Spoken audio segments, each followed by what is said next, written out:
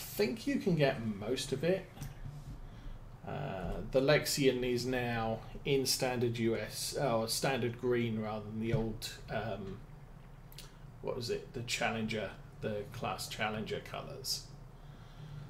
Um, but you can't get the Arion tractors, the 400 and the 600.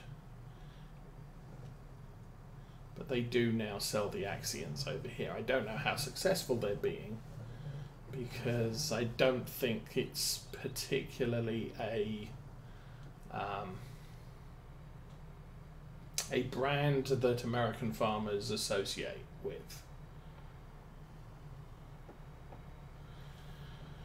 Um, but you know, I've seen over down in Ohio, Amish country. There's a guy who runs, looks like he runs a fairly heavy Fendt farm. Um, I saw him running a you saw at least a, a tractor with some implements on the back, uh, running down towards his farm, and then like ten minutes later, a different Fendt tractor came back um, with some different equipment on the back. So, um, you know, Fendt's known, it's not common. I think commonality in the US is probably John Deere and Case.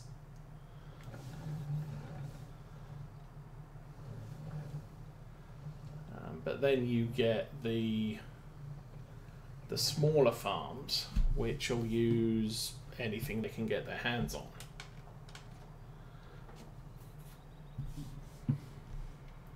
But yeah, look at look at websites for ideas, or look look at manufacturers' websites for ideas on what what sold where.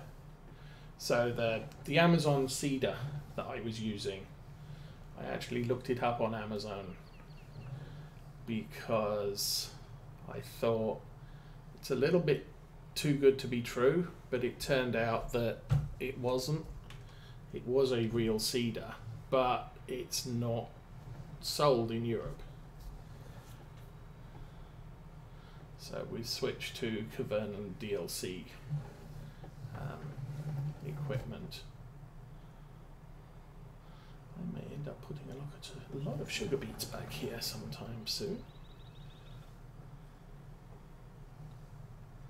And then the other thing to look is to go on YouTube and and hunt around to see um, what other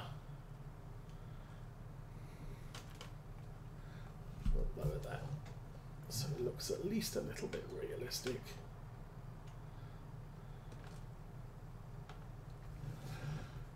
But yeah, look for um, videos on YouTube for UK farming uh, or European farming, and you'll find you'll find some interesting stuff out there. Um, you know, it, it seems there's a lot of contractors who own big equipment. So, you know, as an example, I've stated before, Ollie's farm, he doesn't have any fertilizing equipment, but he outsources that contract to a guy who has a self-propelled sprayer. Now, I don't know if that guy has anything other than the self-propelled sprayer, and um, he just has enough work um, that warrants him keeping that self-propelled sprayer. But you know, that guy does the spraying for probably a number of farms around Norfolk, possibly even Suffolk, um, in order to cover the costs of using that large piece of equipment. But it's a large piece of equipment that most of the farms in that area just couldn't justify owning. Um, similarly, with sugar beet farming, um, you know, the farmers will generally outsource the sugar beet um, harvesting to some company that owns a sugar beet harvester and a couple of large uh, tippers that they can haul the sugar beets in, and a couple of large tractors that they can haul the large tippers with. So a lot of farmers in at least in the UK, possibly in Europe, have the equipment that they need for day to day and will then hire out um, for their larger needs. And good morning, Whitehawk. How are you doing on this Saturday? So, we'll lower that there, forward a little bit, and release, release. There we go. And it will magically stay exactly where I put it. Okay, what else do I need to do? We need a bale. This is not a bale fork. My dog. So I'm going to put this tractor away for now. I think we've we put everything away. We put everything away. So it's all good. We've moved the uh, wall, which means we won't get uh, messages complaining that we have no more room for wool.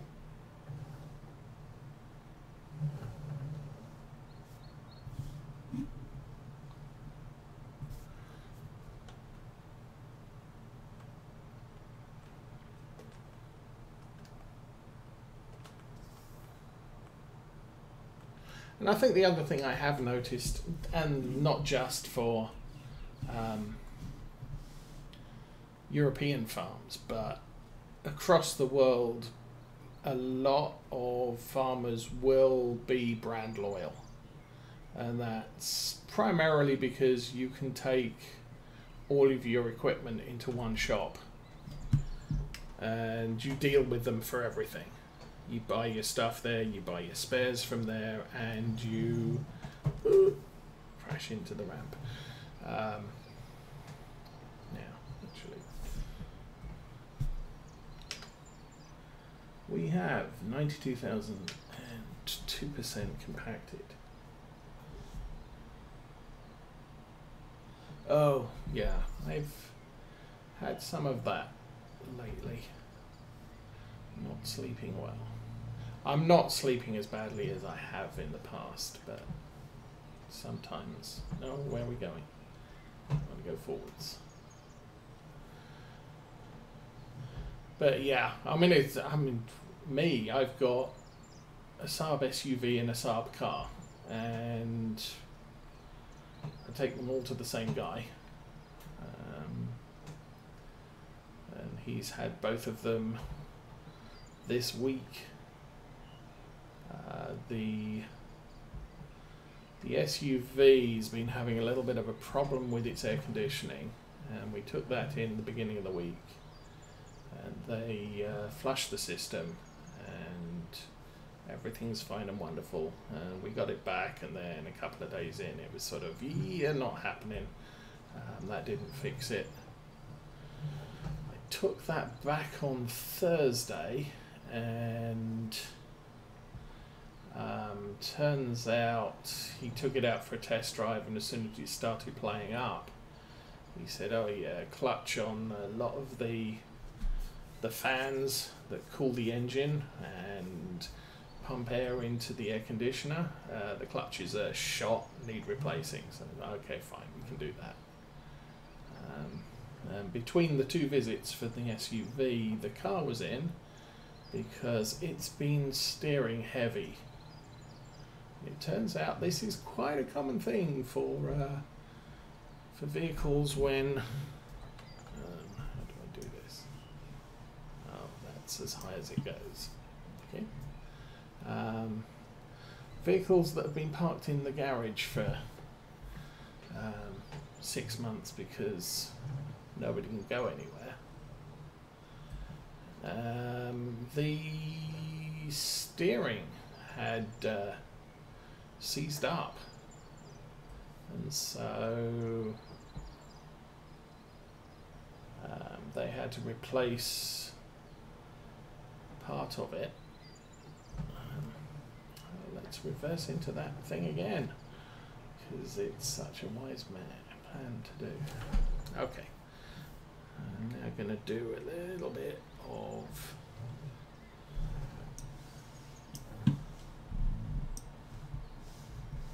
Oh, that that would help.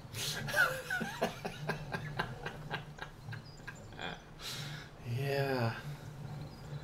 That thing has an angle and a. Uh... Oh, I don't want that. Let's raise it. So, no, that is.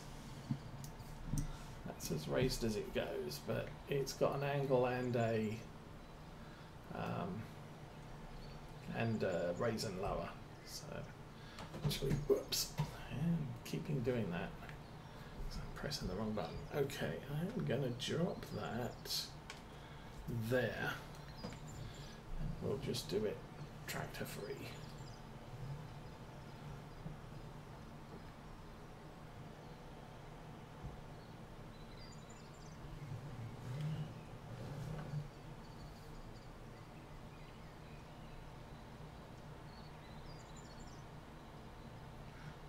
Is charging me for things that don't happen.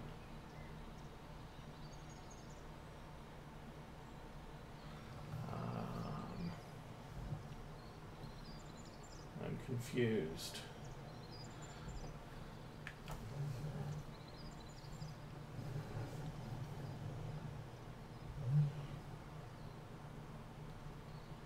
Well, no. I mean, the thing is, is no. The air conditioning has been playing up, uh, yeah, they flushed the system, but it turns out there's no cold air going, or there's no air going into the air conditioner to be cooled in order to uh, cool off the cabin, and that's.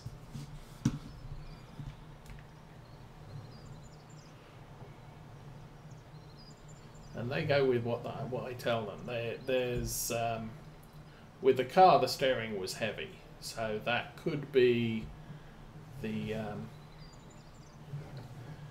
the power steering fluid was low, and it turned out that wasn't. No, um, what my mechanic was telling me was that um, you know some of their older vehicles. My my vehicle's ten years old, and. Uh, and using it day in and day out, it doesn't get time to seize up because of the corrosion. But the car has been sat in the garage for pretty much five months, and that gave a chance for the corrosion to actually affect its handling and so, and he said, yeah, he was saying they've they've had a surprising number of vehicles with that particular problem, because the vehicles have been sitting around for five months because nobody's going anywhere. You know, even two car families. We we are we are a two car family, although we could get away with one vehicle. I've had you know, so we have a car and we have an SUV. Well, we've been driving the SUV around almost solidly because we don't yeah we don't need both vehicles out and when we have the kids over we need the SUV and when we don't have the kids over it's just easier to put the shopping in the uh, in the back of the SUV so yeah. The car has been driving around on Michigan roads for 10 years and has I bought it new. It has 140,000 miles on it, so that's 140,000 miles of Michigan winters with salt on the roads and all the rest of it, and it is going to cause corrosion. But um, yeah, that's now fixed, and I can tell that's been fixed.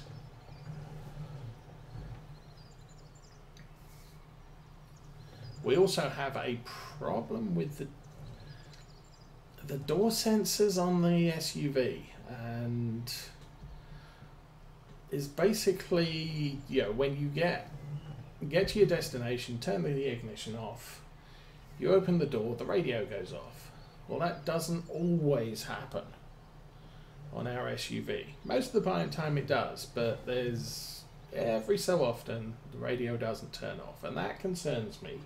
Not because the radio doesn't turn off, but what else isn't turning off? Because I don't really want to uh, get out of the, the car or get out of the truck, not realize that the radio hasn't turned off because I haven't got it turned on for some reason. And then the car sits there for a few hours with other electrical equipment running, draining the battery and potentially leaving me unable to start the car. So um, it's a concern, um, but they haven't been able to find the cause of that yet. So it's a case of what we're doing is when we take it out for a test drive after making changes or whatever. So once they've replaced the clutches on the the engine fans, cooling fans, um, they'll probably take it out on a test drive just to make sure it's working. And you know, there's the chance that they get to the end, they open the door, the radio doesn't turn off, and at that point it's a case okay, get the diagnostic equipment, do not shut the door. Um, let's find out what the um, what the uh, control computer in the car is is registering. Does it see the door as open, or is the door sensor broken, or something like that? But uh, my guy does what needs to be done. He doesn't look for extra work, and he doesn't have to because you know he he's built up a solid enough reputation with all of his customers, and they're always going to come back to him. He knows if if he does something that somebody doesn't like, they're not coming back.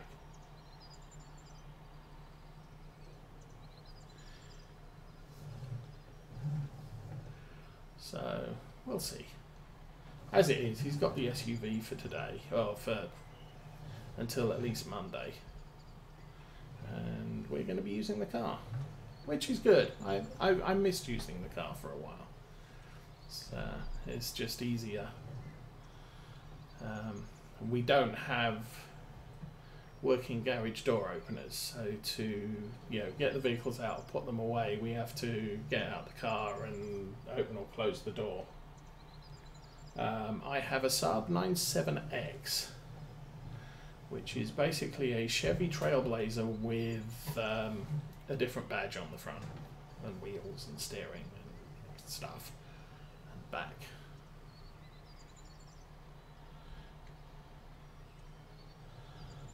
But, uh, yeah, because because of the challenges with the uh, the garage door, when you know once we put a car in the garage, we it's easier to use the one that we didn't put away than it is to uh, get one out. And it's only was it a couple of weeks ago when there was the event going on at church, and I had to work.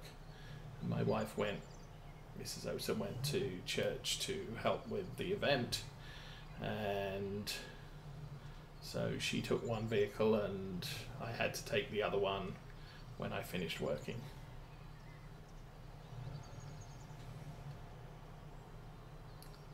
So I had to get the car out. Fun driving the car.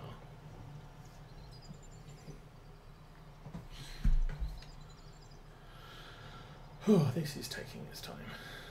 How are we doing? Oh, oh, we're nearly done. I will leave the help desk uh, or the help screen open so we can. We only need to do this for as much as we need to do it.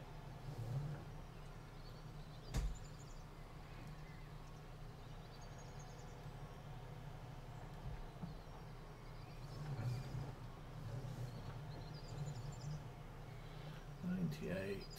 Come on, 99. Can we make it to 100 before... Yes, we're out of here. Boom!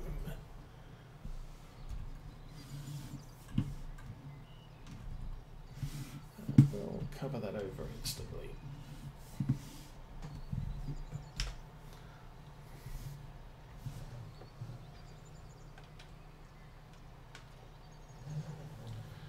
And then move this over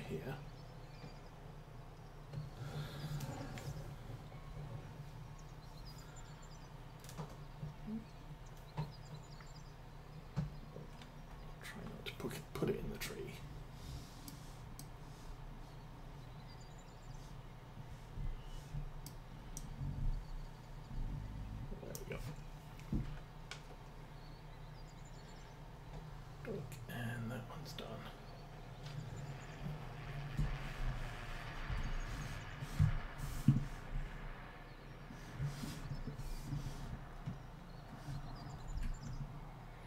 Uh, how easy is this going to be?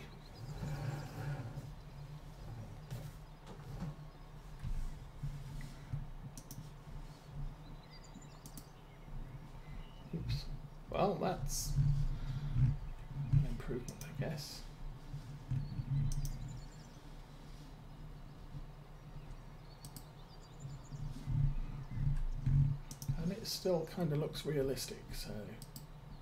Whoops. No, it's not so realistic.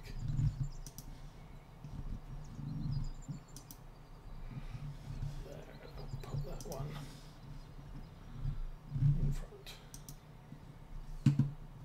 Oh, that's getting a little bit upset. There now. Stop wobbling around. I think for that I'm going to have to turn strongman on for a minute.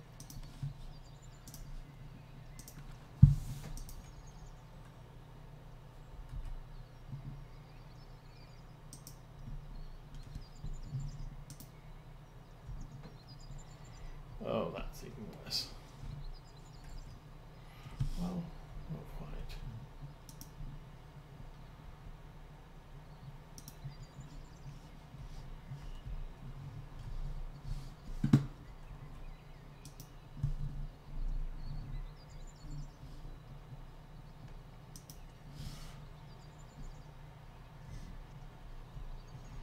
Okay, for some reason they both turned on. I'm going to jump into the tractor so that I have a better view of what that looks like.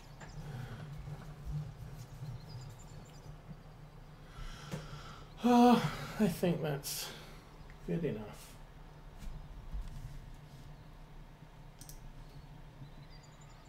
Good. So we are done with the mowing. We're done with the the silage thing.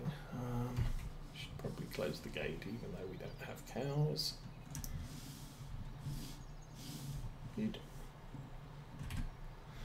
And let's maybe check on contracts. Uh, transporting, transporting, fertilizing 27. And that pays.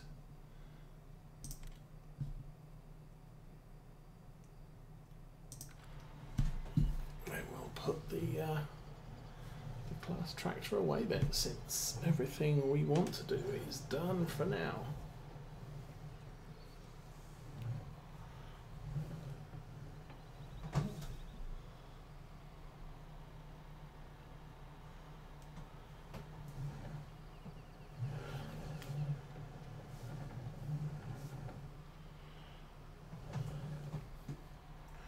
I think with um, sort of Chrysler, Jeep, Dodge, it depends where your vehicle is built. There have been a lot of horror stories from Chrysler manufacturers based around Detroit. Um, and the fact that maybe in the morning when your car if, if your your car was built in the morning it should be relatively okay if it was built in the afternoon it might not be square or very well put together because of uh, what the uh, workers do at lunch times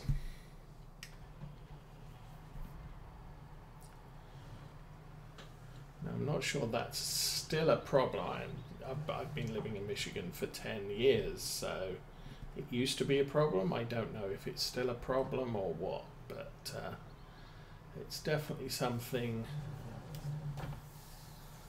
that can be an issue. So if your vehicle's not built in Detroit and is a Chrysler, it might be of better quality than uh, if it was. Okay. We want liquid fertilizer, I believe. This is liquid fertilizer. Okay. That was from the tank at the back. Hopefully that's from the tank at the front. Yes. Um, I really don't think I need much more than 1100 litres in this. So we'll run with what we've got. Now, I need to go to field 27. Where is that? Um, that's the one all the way at the top. So we go down to Oak Glen Farm, take a right.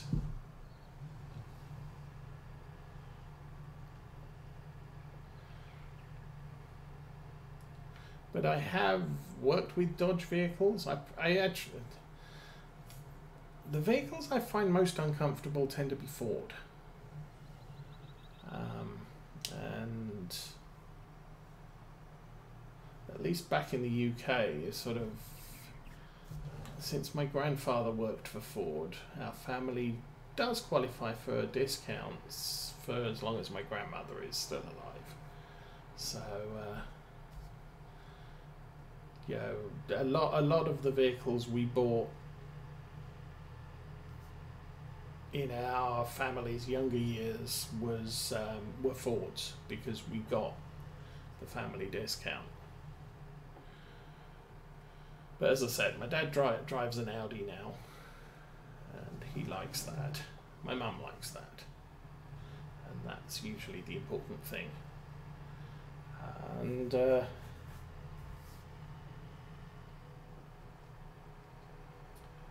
yeah, I drive Saabs because I like them. But uh, Dodge trucks are very good. They got a very good turn circle. At least ten years ago, they were they they compared very favourably with other trucks um, in with with the ability to turn in tight areas. So yeah, if you were going to run this farm with a pickup truck, Dodge would probably work better than a Ford or a uh, Chevy.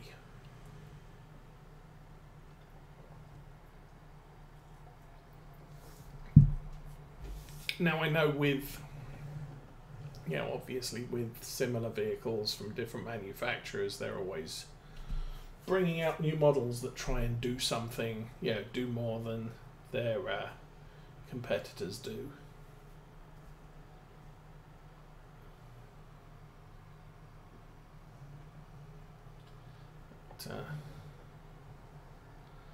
Yeah, back back when I was younger, I used to watch Top Gear, and Top Gear used to be a a car magazine rather than Toys for the Boys. And as a car magazine show, they would review vehicles. they'd do side by side comparisons between similar vehicles from different manufacturers. So you know, the family car did I drive past the farm? No. Or the car that all the sales reps drive around in, or uh, you know, the family SUV or the family minivan or whatever. But they, they would they would actually take out normal vehicles and and and do a vehicle report on it, much like you would find if you bought um, a magazine to do with cars or whatever. But um, there was one year. Um, Jeremy Clarkson had to do a review on the brand new GM, whatever it was that sales reps drive. That style of vehicle. UK, obviously. And so, yeah, he told us about yeah how many cup holders it has and how fuel efficient it was, and how many, you know how big the trunk was, thus how much samples you could fit in the trunk um, as you were going on your sales um, calls. And at the end, at the end of each one, the the uh, the presenter who was driving the vehicle would generally get out of the car and they would stand, face the camera, and extol the virtues of what the car did really good and maybe what the car did really bad. And Jeremy got out of this particular car, and he stood and he looked at his the, the camera, and he drummed his fingers on the uh, the roof of the car, And after about 20 seconds, he said, Well, that just about sums up this car. and walked away. and the basic, you know, thing was this car is average. It does nothing exceptionally better than any of its competition. But similarly, it doesn't do anything worse than the rest of its competition. It's just a car. and that was pretty much what his uh, his summary brought over to the viewing public, and GM were furious because you know you didn't have anything to say. This is you know it's almost the death knell for a you know for a car manufacturer. If if somebody doesn't have anything to say about your car, not good or bad, this, that's just not good.